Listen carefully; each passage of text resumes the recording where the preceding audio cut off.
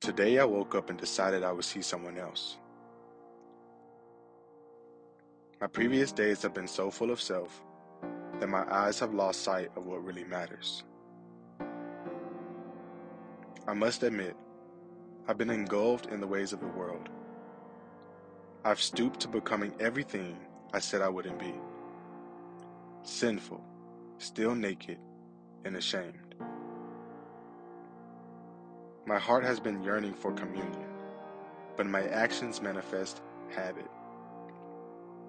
By this point, I imagined I would be better. Not better in the sense that my actions would yell perfection, better that my heart's posture remained pure. That my eyes remain fixed on what really matters God and God alone. The weight of my past has gotten too heavy. I'm no longer waking to pick up my burdens. I'm waking to gaze upon you. So help me, Father. Help us to see you, Father, until we're with you forever.